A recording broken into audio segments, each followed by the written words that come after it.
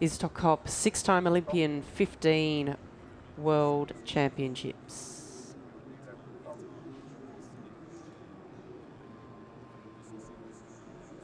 I'm also sure no one's going to be calling anyone back for a false start here either.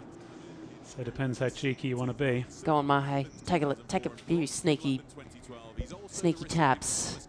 Two-time Olympic gold medalist.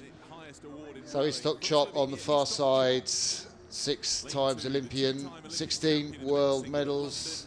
There's Ondrej Synek, five times world champion, two Olympic silvers, one Olympic bronze.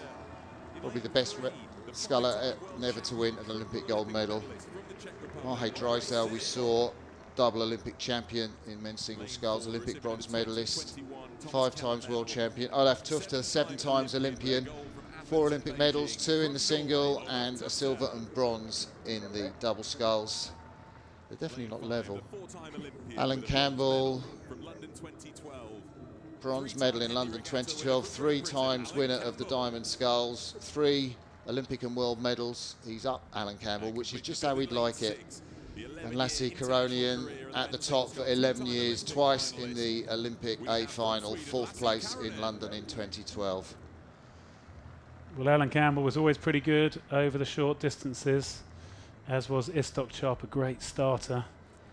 What are our predictions for this? Mahe's going to be at the back. Well, Olaf Tufte is closest to his career, isn't he? Um, and still he still looks fit. in good shape as well. But it's Ondrej Synek's event, it's his day. So all the scullers are being asked to back it down.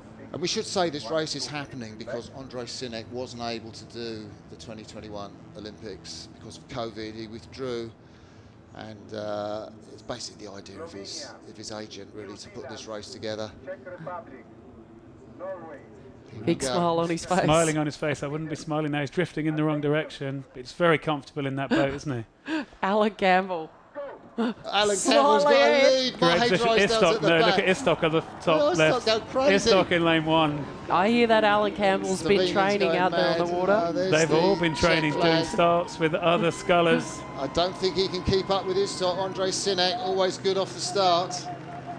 This 500 metre race, the camera's concentrating on the Czech favourite, but uh, it is Slovenia in the lead, two metres from Olaf Tufte. The two mates, well, they're all mates really, but Tufte and uh, Cop have been best man at each other's wedding. It is Olaf Tufte maybe just shading it at the moment. Well, it's a long enough race that there is time to go. What are they going to do? About 140, I would imagine. So still another minute or so to go. So now they're going to start to feel the burn.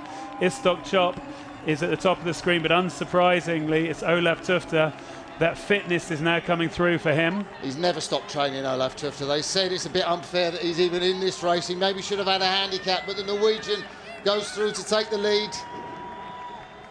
Well, we look at Ondrej Synek again. Unsurprisingly, now we'll get this wide angle. He's right in there. We think he's about third at the moment, but it's Olaf Tufte with the lead, 39 strokes a minute. Let's see what's going to happen. We're coming in. Still 100 metres yet to go. Synek is smiling. He's in silver medal position. Where's he found that push ahead of Iztok Cop? How about Alan Campbell? How about Alan Campbell just moving there is Synek. Smile on his face. He's really burning now as they come up towards the finish. Oh, oh they let him stop right and he's oh, they let him dear, win. They let him win. And oh. it is sporting gesture from Olaf Tufte there.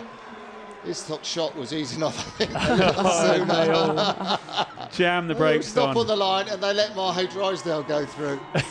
oh, I love that. We didn't know they were going to do that. That's very Whether very that cool. was spontaneous or not.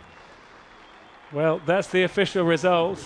Well, luckily... Ondrej Synek wins. That's how it should be read and goes down in history. But um, fantastic spirit between all those scullers. Glad I waited to see that. And